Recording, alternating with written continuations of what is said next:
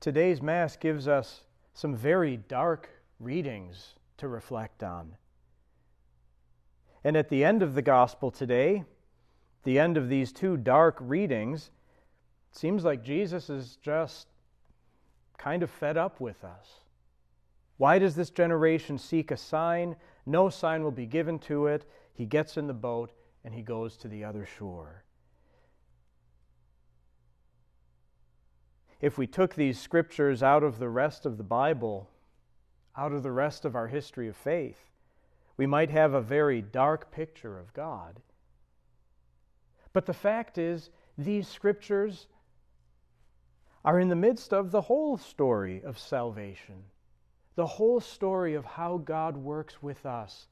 And this gospel passage is in the heart of the whole of the story of Jesus, his ministry, to bring the love of the Father and to proclaim it to us in our world where we are. Venerable Bruno Lanteri, the founder of my congregation that I belong to, the Oblates of the Virgin Mary, he reminds us that it's important for us not to think of God and measure God by our measure, but to think of God and measure God by the way He truly is. And we might be tempted, hearing these scriptures, to measure God by our measure.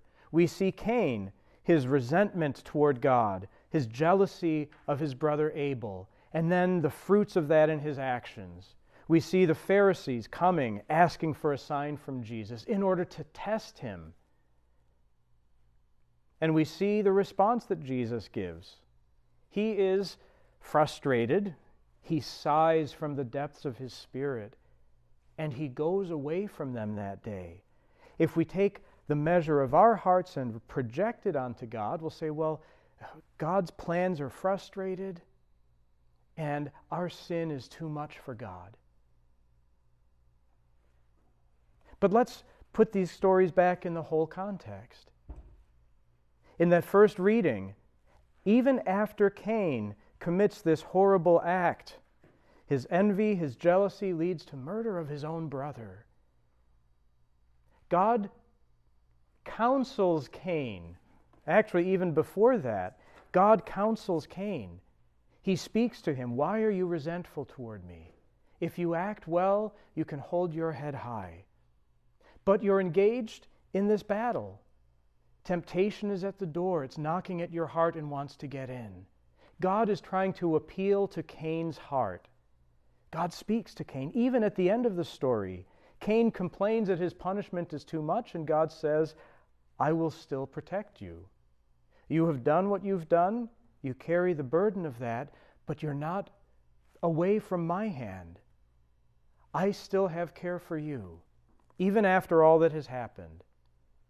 It's the same thing that happened earlier in the story of Genesis, after the sin of Adam and Eve. They tried to cover their sin with, with fig leaves, and it says God made for them clothes out of leather. He said, You'll have to suffer the effect, the consequence of your sins, but I'm going to give you even better help than you can give to yourselves. And I'm going to give you the promise of my salvation. I've given you all of creation. I've given you all of these good things in it, and they are yours, even when you misuse them. God says, they are still yours, and my desire for you, my plan for you, is still at work. If you give your heart back to me, you will be saved. If you open your heart back to me, all of the good that I have put in creation and put at your disposal will have its fruit in you. But if you keep your heart closed to me, none of these good things can have their fruit. I think that's what we see with Jesus in the gospel today. By this point in the Gospel of Mark, Jesus had, has fed 5,000. He's fed 4,000. He's cast out demons. He has raised the dead. He has healed the sick. And the crowds have brought all of the sick to him just to touch the tassel of his cloak and be healed. After all of that, the Pharisees come to him today and say, Lord, give us a sign.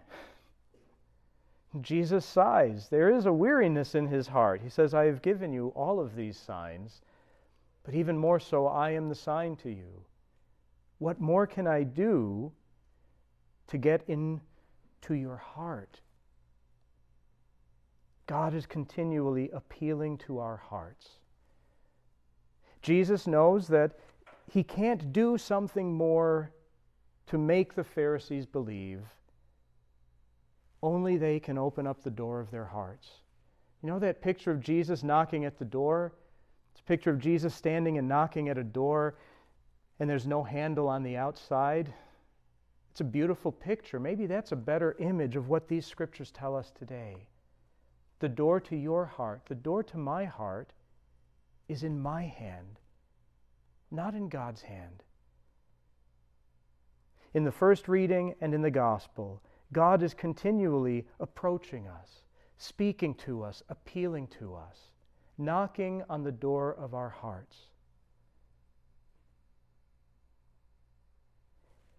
But it's up to you and to me to turn the handle from inside and allow God in. If we measure God by our measure, say, you know what, God must be frustrated with me, God must be done with me, all hope is lost. Thanks be to God, God is not us, God is God. God never gives up.